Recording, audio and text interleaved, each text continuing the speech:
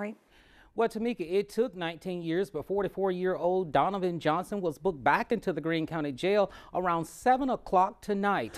He was arrested in 1996 for the murder of Ollie Carpenter. Greene County District Attorney Greg Griggers says Johnson shot four people, killing Carpenter and injuring three others. Back in 1996, he was charged with murder, three counts of attempted murder, and receiving stolen property.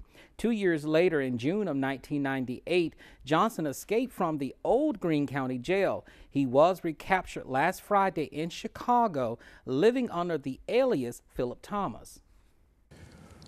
It's a great day because we can put to a close of a case of over 19 years.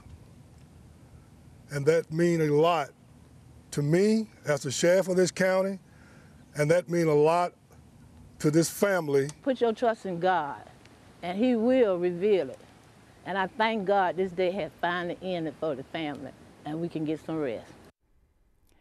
Now, Johnson is now charged with escape. His first court appearance is June 1st. Live tonight from the newsroom, Jabari Pruitt, WVUA 23 News.